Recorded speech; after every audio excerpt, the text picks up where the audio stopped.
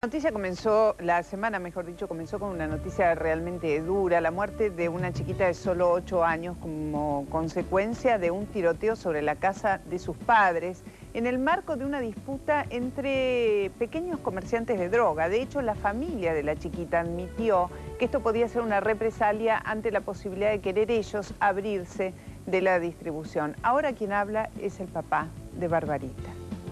Bárbara conmigo era todo era la preferida mía, la llevaba al colegio, la traía. Los ojos de Elías Núñez hoy reflejan el dolor y la desesperanza. Su pequeña hija Bárbara, de tan solo ocho años, fue asesinada el sábado por la noche cuando un grupo de narcotraficantes valió el frente de su casa en Luis Guillón. Estaban dentro de la casa, estaban ahí, estaban jugando los chicos. Dice, escucharon una puerta a la nena. Dice, le preguntó, ahí viene papá.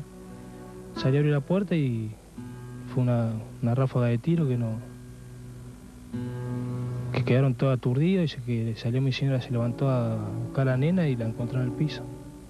Elías no sabe leer ni escribir y por la falta de trabajo creyó que distribuyendo drogas para un grupo de narcotraficantes de la zona iba a poder mantener a su familia.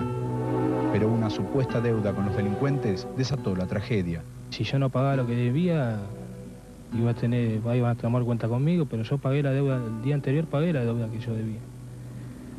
Yo la pagué la deuda. ¿Deuda de qué era? ¿A, qué personas les debías plata? Eh, una deuda, una mercadería me dejaron para trabajar de cocaína, yo se la pagué, pero ellos insistían que yo siga trabajando para ellos y yo dije que no, pues me di cuenta que, que estaba poniendo a mi familia lo que estaba haciendo, a raíz de no tener trabajo. ¿Vos caíste en esto por no tener trabajo? Por no tener trabajo. ¿Y alguna vez habían, esta gente se había contactado con vos, llegó a decirte que te podía pasar algo o, tomaron esta, esta medida directamente? No, nunca me dijeron nada, lo que sí, que si me dijeron, me, decían que si yo trabajaba para ellos iba a tener seguridad, eh, que me quedé tranquilo, que estaba todo arreglado, no había problema. Y yo le dije que no, que no, pues no, era lo que yo, sea, lo que yo quería para mi familia. Cegado por el dolor y la culpa, este hombre de 27 años hoy sabe que nada le devolverá la vida de su pequeña hija. Me llevaron ocho años que no, no son recuperables nada. nada. Nadie te lo puede recuperar. Así tienen lo que te den la vida de un hijo, no, no tiene perdón. Te sacan un hijo así, no, no yo no puedo entender, no, no sé en qué momento estoy pasando no... Lo que pido justicia nada más, justicia y que, no, que a otra gente no le pase lo que me pasó a mí.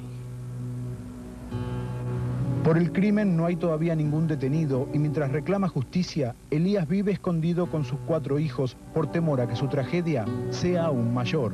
Lo único que pido justicia es que el gobernador de la provincia quiero que, que le llegue este mensaje que no vuelva a pasar con otra familia de bajos recursos que esto no tiene que existir más. Los asesinos de su hija aún caminan libres por la calle.